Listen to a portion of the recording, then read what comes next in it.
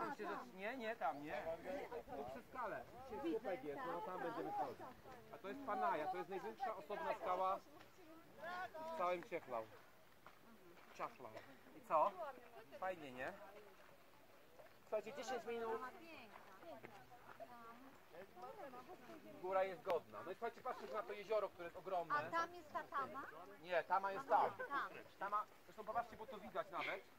Tam się kończy jezioro. Tak. Patrzcie, jak ono jest wysoko, a jak w dole jest potem miejscowość. Za tą górką, po prostu tym stożkiem jest tama tam. Ponad 100 metrów wysokości. Hydrobudowy mówi, że tamy budują wody. To jest zapora. Tak jest. Słuchajcie, pierwszy raz na wyjeździe udało nam się spojrzeć poza brzeg Karpat. Widać Mołdawię. Znaczy tą, tą wyżynę mołdawską. Widzicie tam, to jest płaska. Ale jak nie udawało Nie no, na tym wyjeździe. Były góry dookoła, nie? A, a teraz pierwszy raz widzimy kawałek płaskiego. Góry, góry, góry. Pięknie. No. Można Można, obejść, można obejść dookoła, tak. Jak ktoś nie na chodzić, można dookoła.